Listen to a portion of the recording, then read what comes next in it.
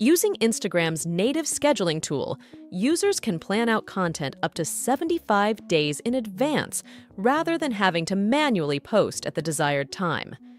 In this video, I will show you step-by-step guide on how to schedule posts on Instagram.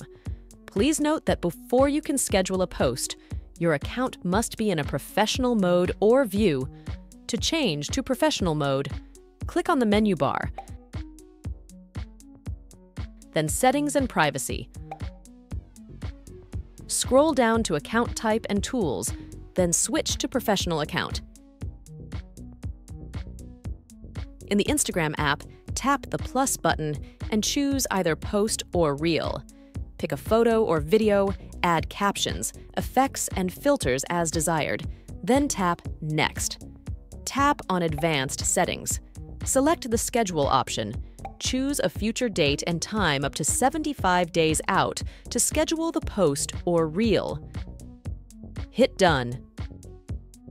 Tap the back arrow.